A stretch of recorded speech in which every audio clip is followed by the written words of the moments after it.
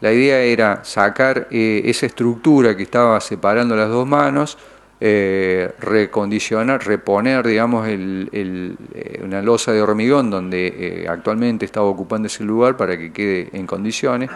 se va a reparar seguramente un par de baches que hay ahí, se, se rehará, digamos, se va a rehacer un paño completo, digamos, para que esa cuadra quede medianamente acomodada. Después sobre Cura Ferreira, eh, la parte de atrás de ingreso al parador también se va, se va a recondicionar, se estuvo recondicionando la semana pasada la, la misma calle que va hacia, hacia el lado de la ENA, digamos.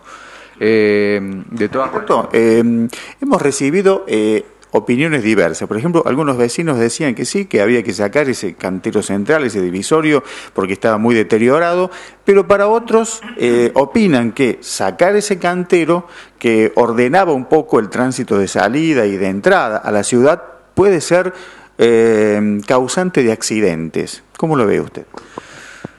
Técnicamente, eh, en realidad, y teniendo en cuenta eh, la ubicación y el ancho del pavimento y demás, eh, lo correcto es retirar eso.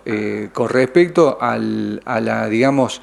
la prevención de accidentes y demás, ya oportunamente seguramente Tránsito colocará las medidas correctivas del caso.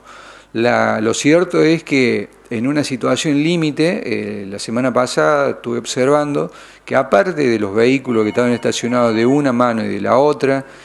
digamos, aparte de eso, eh, también había un distribuidor de, productos que había estacionado en, en, medio de, la, de, las dos manos, digamos, en prácticamente en la misma línea de, este, de, este, de esta estructura. Entonces,